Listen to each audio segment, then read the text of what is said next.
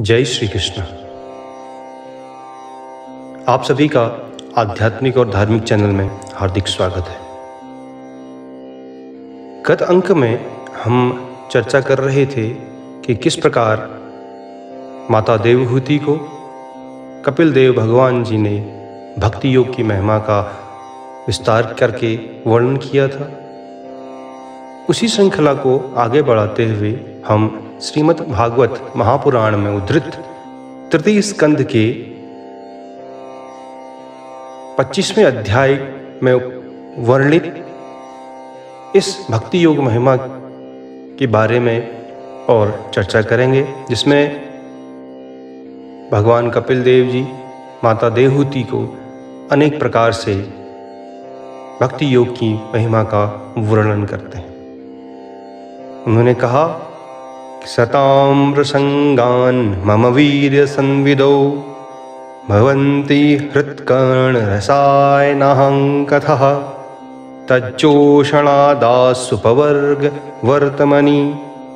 श्रद्धा रतिर्भक्तिरनुक्रमिष्यति।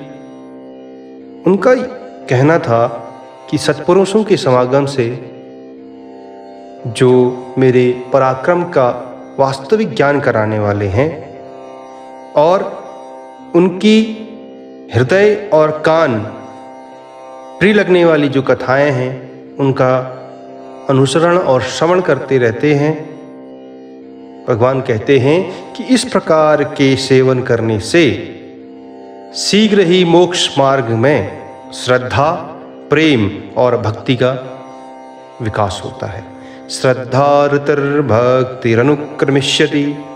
आगे भगवान कहते हैं कि भक्त्या पुमान जात विरागेन्द्रियाद दृष्टश्रुतान्मद्रचनानुचिन्तया।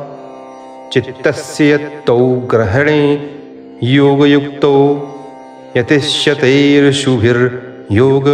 ही भगवान कहते हैं कि फिर मेरी सृष्टि आदि, लीलाओं का चिंतन करने से प्राप्त हुई भक्ति के द्वारा, क्योंकि भगवान की जो लीलाएँ हैं, उन लीलाओं का हम अगर अपने मन में चिंतन करते रहें, ध्यान करते रहें तो उसके द्वारा जो भक्ति उत्पन्न होगी, उस भक्ति से लौकिक और जो पारलौकिक सुख हैं, उसमें वैरागी हो जाए। और उसके हो जाने पर मनुष्य सावधान पूर्वक सावधान होकर योग के भक्ति प्रधान सरल उपायों से समाहित होकर फिर अन्य यत्न करेगा। इस प्रकार भक्ति प्रकृति के गुणों से उत्पन्न हुए जो विषय हैं, उनका त्याग करने से वैराग्य युक्त की होकर ज्ञान प्राप्त करने से और योग करने से भगवान कहते हैं कि मेरे प्रति क्री हुई सुदृढ़ भक्ति से मनुष्य मुझे अपने अंतर आत्मा में ही प्राप्त कर लेता है और अंतरात्मा में वस्तुतः इस देह में प्राप्त कर लेता है। असेवायाम प्रकृतिर्गुणानाम ज्ञानेन वैराग्यविजृम्भितेन योगेन मय्यर्पितया च भक्त्या। माँ प्रत्यगात्मानमिहावरुन्धे। भगवान कहते हैं कि मेरे भक्ति द्वारा किया गया जो भी उपाय है, उस उपाय में सुदृढ़ता से मनुष्य अगर अपने आप को खोल लेता है तो वह इस सांसारिक देह में भी अंतरात्मा को प्राप्त कर सकता है। तो इस प्रकार से भगवान ने भक्ति योग का मार्ग माता देहूति को बताया और उन्होंने कहा कि इस शरीर में मेरी लीलाओं का चिंतन करना ही मेरी भक्ति है। तब माता देहूति कहती हैं कि, भगवान, आपकी वास्तविक जो भक्ति है, उसका क्या स्वरूप है? फिर वह प्रश्न पूछती हैं और वो कहती हैं कि मेरी जैसी जो अबलाएँ हैं, क्या उनके लिए भक्ति ठीक है? और भक्ति ठीक है तो वो किस प्रकार की भक्ति ठीक है? और जिसको वह सहज रूप से कर सकें और निर्वाण पद को प्राप्त कर सकें। यो योगो भगवत्पाणो निर्वाणात् पंचत्योदितः कीदृशः कति चांगानी यतस्तत्वावबोधनम भगवान से कहते हुए वे कहती हैं कि, हे निर्वाण स्वरूप भगवन, प्रभु, जिसके द्वारा तत्व ज्ञान का बोध होता है और जो लक्ष्य को बेधने वाले बाण के समान भगवान की प्राप्ति कराने वाला है, वह आपका कहा हुआ योग कैसा है?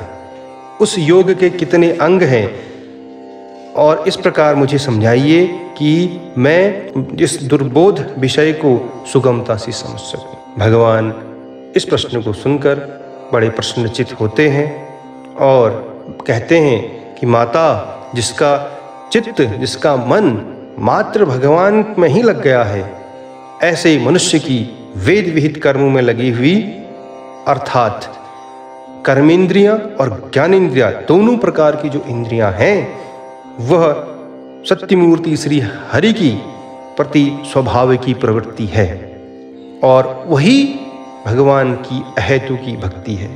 अंदर की जितनी भी इंद्रियाँ भगवान के प्रति समर्पित हैं तो वह पूर्ण रूप से भगवान श्री हरि के प्रति स्वाभाविक ही प्रकार की भक्ति हो जाती है।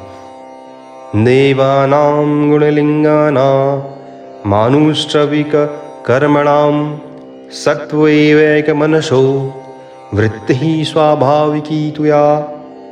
अनिमित्ता भागवती भक्ति सिद्धिर्गरीयसी। जरत्याशु या कोशम निगीण मनलो यथा।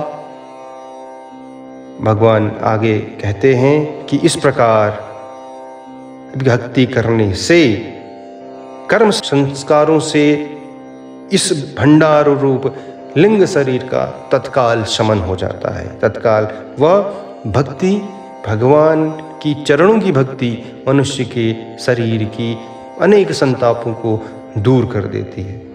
भगवान आगे कहते हैं कि जो भी मनुष्य मेरे प्रीति करने वाली कार्य करता है, मेरे चरणों में सेवा करता है, और भगवान यह कहते हैं कि जितने भी संसार में कार्य हैं, उन संसार में कार्य भगवान के निमित्त होकर अगर यदि किए जाएँ तो और एक दूसरे से मिलकर प्रेम पूर्वक मेरे पराक्रम की चर्चा करते हैं तो ऐसे मनुष्य, ऐसे भक्त मेरे साथ, सायुज्य जो मेरे साथ एकाकी भाव है, उसकी भी इच्छा नहीं करते हैं। नेकात्मतां मे स्पृहन्ति केचन मत्पादसेवा भिरतां मदीहः। योऽन्योन्यतो भागवतः प्रसज्य सभाजयन्दै मम पौरुषाणि। पश्यन्ति ते मे रुचिराण्यं वसन्तः प्रसन्नवक्त्रा ऋणलोचनानि। रूपाणि दिव्यानि वरप्रदानि साकम वाचम स्पृहणीयाम वदंती भगवान कहते हैं कि ऐसे साधु जन अरुण नयन और मनोहर मुखारविंद से युक्त मेरे परम सुंदर और वरदायक दिव्य रूपों की वो झांकी करते हैं और उनके साथ संभाषण करते हैं। जिस प्रकार के वह कार्य हैं, वो बड़े बड़े तपस्वी भी इसके लिए लालायित रहते हैं। तैरदर्शनीया वय वैरुदार, विलास हासेक्षित वाम सूक्त हृतात्मनो हृत्पाणाश्च भक्ति, रणिच्छतो मे गतिमण्वीं प्रयुङ्क्ते। भगवान कहते हैं कि इस प्रकार यदि मनुष्य दर्शनीय अंग प्रत्यंग उदार हास विलास, मनोहर चितवन और सुमधुर वाणी से युक्त मेरे उन रूपों की माधुरी में उनका मन और इंद्रियाँ अगर फंस भी जाते हैं तो ऐसी मेरी भक्ति चाहने वाले पर भी उन्हें परम पद की प्राप्ति करा देती है। भगवान उसके बाद कहते हैं कि अविद्या की निवृत्ति हो जाने पर जो मनुष्य के अंदर अविवेक उत्पन्न हो जाता है, उसकी निवृत्ति होना, होने जाने पर वे मुझ मायापति के सत्यादि लोक लोगों की भोग संपत्ति, भक्ति की प्रवृत्ति के पश्चात स्वयं जो प्राप्त होने वाली अष्ट सिद्धि, अर्थात वैकुंठ लोक के भौदी ऐश्वर्य की भी इच्छा नहीं करते हैं और मेरे धाम में पहुँचने पर उन्हें ये सब विभूतियाँ स्वयं ही प्राप्त हो जाती हैं। अथो विभूतिम। मम माया विनस्ता। मैश्वर्यमष्टांग मनु प्रवृत्तम श्रियं भागवतीं वास्पृहन्ति भद्रां परश्य मे तेष्वन्वते तु लोके। न कर्हिचिन्मत्परः शान्तरूपे नक्षन्ति नो मे निमिषो लेढिहेतिः येषामहं प्रिय आत्मा सुतश्च सखा गुरु सुहृदो दैवमिष्टम्। भगवान कहते हैं कि जिनका एकमात्र मैं ही प्रिय हूँ, मैं ही आत्मा हूँ, मैं ही पुत्र हूँ, मैं ही मित्र हूँ, मैं ही गुरु हूँ, मैं ही सुहृद हूँ और मैं ही इष्ट देव हूँ। और ऐसे भक्त जो मेरे ही आश्रय में रहने वाले हैं और शांतिमय हैं तो वो वैकुंठ धाम में पहुंचकर किसी भी प्रकार से इन दिव्य भोगों से रहित नहीं होती। और ऐसे व्यक्तियों को नहीं मेरा काल चक्र ग्रस सकता है। भगवान आगे कहते हैं कि माता जी जो लोग, इहलोक और परलोक दोनों लोक में साथ जाने वाले जितने भी वासनामय इस शरीर की इच्छाएँ हैं और शरीर से संबंध रखने वाले जितने भी धन, पशु इत्यादि ग्रह आदि पदार्थ हैं, उनको और संग्रह को छोड़कर अनन्य भक्ति भाव से यदि मेरा भजन करते हैं तो मैं इस मृत्यु रूप संसार से ऐसे भक्तों को पार कर देता हूँ। इमं लोके ते तथे, इमं लोके तथे माँ, इमं लोके तथे तथैवा मुमात्मान मुभयायिनम आत्मानमनुये चेह ये राय पशवो गृह। वृषिज्य सर्वाण्यांश्च मामेवं विश्रुतो मुखम। भजन्त्यन्या भक्त्या तान मृत्योरति पारे।